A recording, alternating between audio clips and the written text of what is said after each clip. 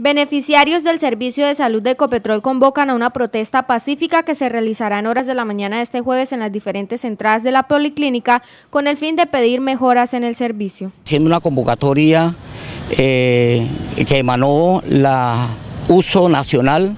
convocando a todos los beneficiarios a nivel nacional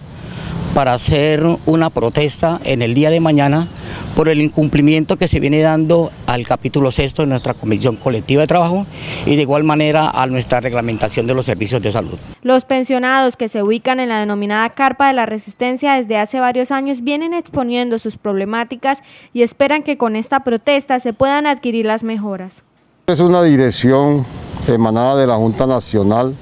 de la USO para visibilizar nuestra problemática que tenemos en nuestros servicios de salud que desde mucho tiempo atrás nos lo vienen violando y vienen abaratando costos, tercerizando y en esa abaratación de costos y tercerización nos están pensando un servicio de mala calidad. Entonces estamos tratando de que se visibilice nuestro, nuestra problemática y por eso mañana hacemos llamado a la, a la población de Ecopetrol para que vengamos a acompañarnos a sacar adelante este buen servicio sector de salud. De igual forma, a partir de las 5 y media de la mañana se realizará un meeting afuera de las instalaciones de este centro de salud e irá hasta las 7 de la mañana.